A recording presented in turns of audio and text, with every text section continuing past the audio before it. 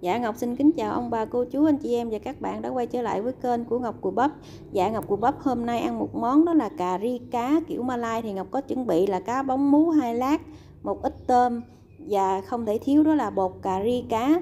Và rau củ đi kèm thì Ngọc có chuẩn bị là cà tím, cà chua, cà bắp, đậu đũa bún, ớt xanh, nước đỏ và một tép xả. Gia vị đi kèm thì gồm có muối, đường, bột ngọt, hạt nêm, nước mắm, dầu hào lá cà ri và bột cà ri. Bây giờ mình làm nghe cả nhà.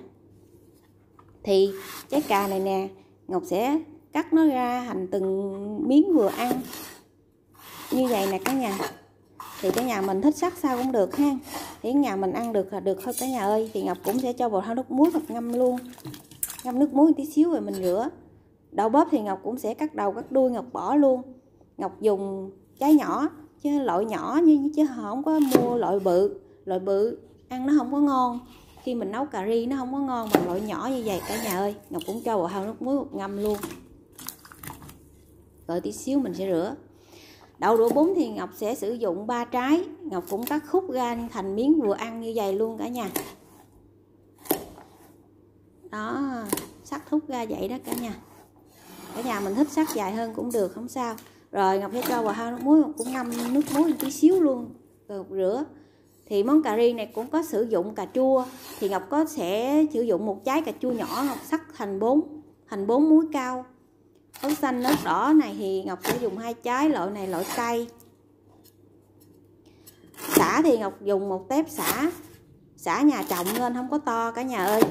Ngọc sắc cho thành từng khúc như vậy luôn. Gừng với tỏi thì ngọc cũng sẽ băm nhuyễn nó ra.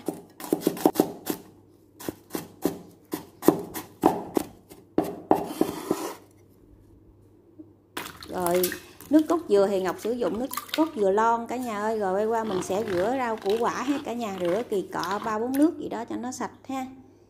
Thì ngọc có chuẩn bị cái chảo nè, ngọc cho dầu ăn vào, cho lên tí xíu muối trong dầu ăn. Rồi ngọc sẽ chiên sơ qua một hai cái lát cá bóng nè.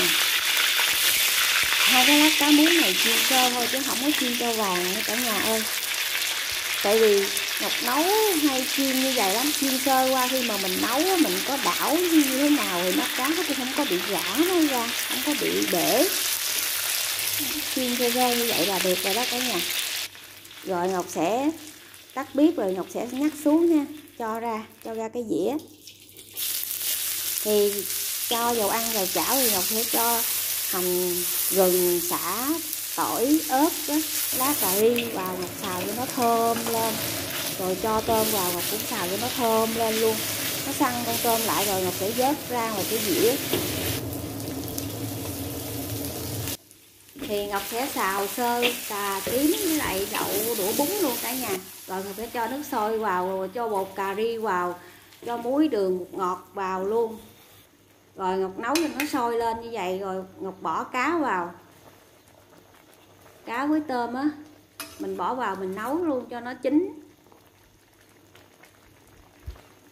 Khi mà nó chín cá với tôm hoàn toàn rau củ quả của mình chín hoàn toàn hết rồi niêm lại coi nó có vừa ăn hay không cả nhà.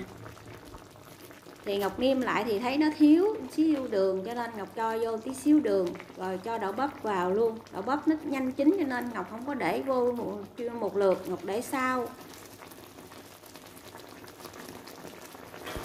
Thì bây giờ mình niêm lại coi nó vừa ăn chưa ha cả nhà rồi mình sẽ nhắc xuống thì niêm lại thì vừa ăn rồi, ngọc sẽ cho cà chua với lại à, nước cốt dừa vào, đun cho thật là sôi lên. Rồi bây giờ mình sẽ cho ra dĩa ha cả nhà.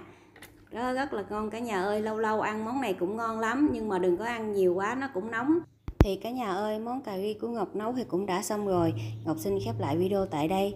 Chúc cả nhà xem video của Ngọc vui vẻ nha. Hẹn cả nhà ở video tiếp theo.